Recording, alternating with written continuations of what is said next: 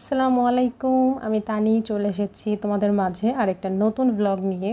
তো তোমরা সবাই কেমন আছো? আশা করছি অনেক ভালো আছো। আলহামদুলিল্লাহ, আমিও অনেক ভালো আছি। তো আজকে বেশ পরিষ্কার ছিল আকাশটা। আসলে যেটা দেখার লোভ আমি সামলাতে পারছিলাম না। আর ঢাকা শহরে খোলা আকাশ দেখার মতো সৌভাগ্য আসলে সবার নাই। তো তাদের দলে আমিও একজন।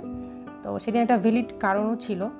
তো যাই হোক তোমাদের সাথে আজকে নতুন ব্লগটা শেয়ার করতে যাচ্ছি। তো আমাকে জানিও তোমার কেমন লাগে অ্যান্ড আমার চ্যানেলটাকে সাবস্ক্রাইব করো। তো যাই হোক জামা কাপড় বের করে আমি রেডি হয়ে যাই। ভ্যালিড কারণটা বলি, সেটা হচ্ছে আমি গত তিন মাস বাসায় ছিলাম না, যার দরুন আমার দুইটা বারান্দা ভর্তি গাছ মরে ভূত হয়ে আছে একদম। কোনো গাছ নাই, সব শুটকি হয়ে গিয়েছে। তো আমার বাসার কাছেই নার্সারি, তো সেখানেই আমি যাব। এটাই ছিল আমার একটা ভ্যালিড কারণ। তো নার্সারিতে যেয়ে তো আমার চক্ষু একদম চড়ক গাছ এটার কারণ হচ্ছে যে পুরো করোনা সিজনে আসলে ক্রেতা ছিল না কি না সেজন্যই বোধ করি গাছের সংখ্যা একদমই কম ছিল নার্সারিটাতে। এবার যেহেতু দেখি পুরা নার্সারি ভর্তি শুধু গাছ আর গাছ, ফুল, ফল সব কিছুরই তো আমি যে প্রথমে তো চোখ আটকে ছিল একদম সেই বাগান বিলাসের দিকে, এত বড় একটা বাগান বিলাসের গাছ ছিল, কিন্তু সেটা আসলে আমার পছন্দ হলেও আমার বারান্দার জায়গা নাই, এত বড় গাছ রাখার মতো। তো সেটা নেইনি। আর আমি বরাবরই ফুল, ফলের গাছ একটু অ্যাভয়েড করি, কেননা এগুলো একটু যত্ন বেশি করতে হয়। তো সেই গাছগুলো আমি প্রেফার করি যে গাছগুলো কম যত্নে বেঁচে থাকে বা বেড়ে ওঠে বা দেখতে ভালো লাগে। তো এটা হচ্ছে একদম একশো পার্সেন্ট খাঁটি ফাঁকিবাজের একটা ভালো লক্ষণ যে এরকম ফাঁকি ঝুঁকি দেওয়া সব কিছুতে যাই হোক, যে গাছ দেখছিলাম এবং যে গাছগুলো আমার দরকার ছিল, তার মধ্যে দুই তিনটা গাছ ছিল না তখন, শেষ হয়ে গিয়েছিল।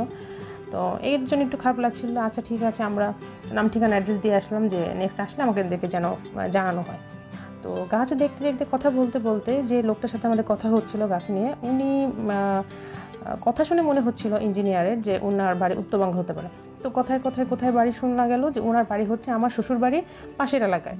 তো এখানে ইঞ্জিনিয়ার আর উনি বেশ কিছুক্ষণ কথা বলল অ্যান্ড আমি গাছ দেখছিলাম।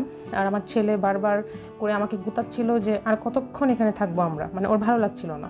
আর মুখটাকে একদম দেখার মতো করে রেখেছিল বাংলার পাঁচ। বাংলা পাঁচ বললেও ভুল হবে, উমোর মতো করে রেখেছিল। তো আমরা যাই হোক, এখানে গাছ টাছ নিয়ে সব কিছু ব্যাগ ট্যাগ করে, প্যাকেট করে আমরা ছেলের পছন্দের জায়গা যেটা বলে যে সেই ফুড কোর্টে আমরা চলে যাই, যে প্লে জোনে সে খেলে খুব মানে খেলতে খুব পছন্দ করে, সেখানে আমরা চলে যাই। আর এখানে গাছ টাছ নিয়ে। আর এখানে একটা কথা বলি, সেটা হচ্ছে আমরা যেটা করি, বাসায় তো আমাদের প্রচুর কথা হয় হাজব্যান্ড ওয়াইফ অ্যান্ড বাইরে গেলে যদি আমাদের সাথে কোনো কাপড় না থাকে, আমরা দুজন থাকি, তখন আমাদের নানা বিষয় নিয়ে কথা হতে থাকে। মানে টপিকের কোনো সিলেবাস নাই, একদম সিলেবাস ছাড়া টপিক্সের উপরে আমাদের কথা হতেই থাকে আর তোমাদের কার কারের এমন হয়, আমাকে জানিও। যে বাইরে গেলে আসলে হাজব্যান্ড ওয়াইফের কথা হয় কিনা। আমার, আমাদের দুজনেরই খুব কথা হয়। এমন কিন্তু নয় যে শুধু আমি বলি ইঞ্জিনিয়ার শোনা যায়। সেও প্রচুর বলে, আমি শুনি এরকম হয়। তো যাই হোক, এখানে আমরা কথা বলছিলাম ওই সময়টাতে আর খাবার অর্ডার করে দিয়েছিলাম।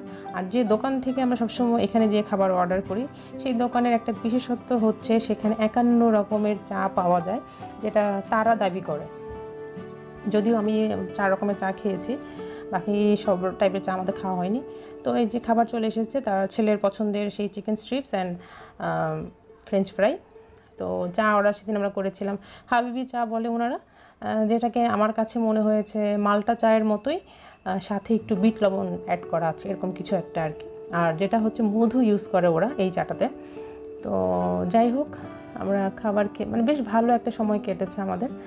আর একটা কথা বলি, আসলে আমার চ্যানেল বলতেও খুব একটা ভালো লাগে না। চ্যানেলের চেয়ে বড় কথা হচ্ছে, এটা হচ্ছে বলতে পারো তোমরা আমার ডেইলি লাইফ তোমাদের সাথে শেয়ার করছি। ডেইলি লাইফের ক্ষুদ্র ক্ষুদ্র কিছু মুহূর্তগুলো তোমাদের সাথে শেয়ার করছি। তোমরা জানিও কেমন লাগে তোমাদের বা কোন কোন সেক্টরে আমি আরেকটু ইম্প্রুভ করতে পারি সেটাও আমাকে জানিও। আর আমার চ্যানেলটাকে অবশ্যই সাবস্ক্রাইব করো। আর যদি আমার কন্টেন্টগুলো তোমাদের ভালো লাগে থামস আপ দিতে ভুল করো না।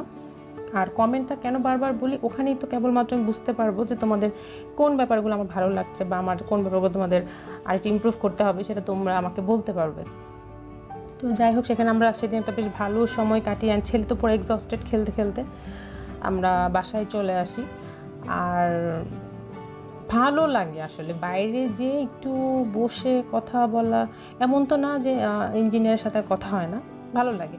তো যাই হোক, এখানে আমরা চলে এসেছি অলমোস্ট বাসায় ঢুকবো লিফ্ট থেকে।